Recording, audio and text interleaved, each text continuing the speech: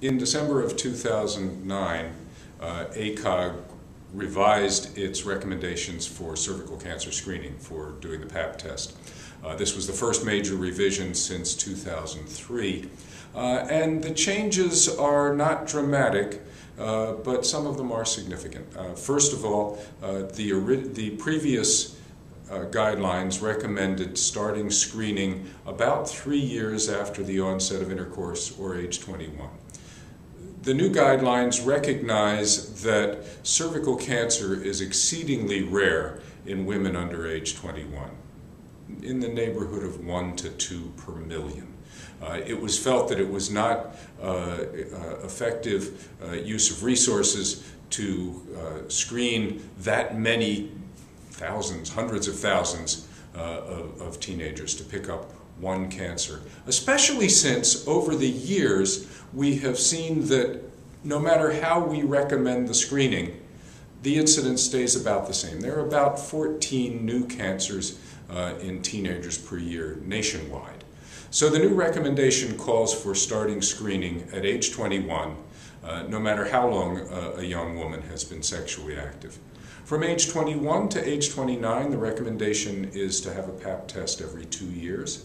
Uh, this is a change from the previous, which was every one year. Um, and from age 30 uh, until sometime after menopause, generally 65 to 70, the recommendation is to go with uh, PAP screening every three years. Uh, the uh, practice committee uh, recognized that uh, there is no real difference in sensitivity or specificity between liquid-based PAP tests and the conventional PAP smear.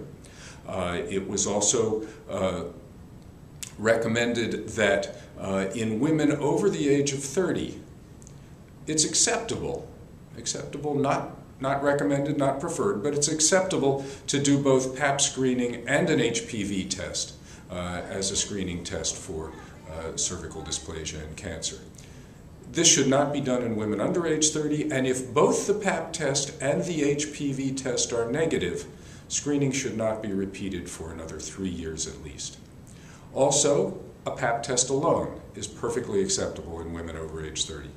Women who've had a hysterectomy and it was not done uh, related to cancer, and uh, the woman has no previous history of CIN 2 or 3 or worse, hasn't been treated for previous dysplasia, uh, is not immunocompromised, uh, was not exposed to diethylstilbestrol, DES, in utero.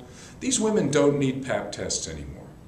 A woman who has had CIN 2 or 3 in the past, or cancer, uh, remains at increased risk for, for cervical dysplasia over the general population for at least the next 20 years and needs to have screening pretty much on an annual basis.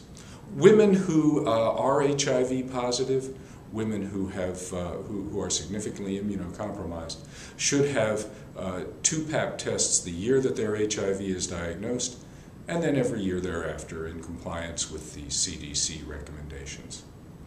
So the new guidelines are a little bit different.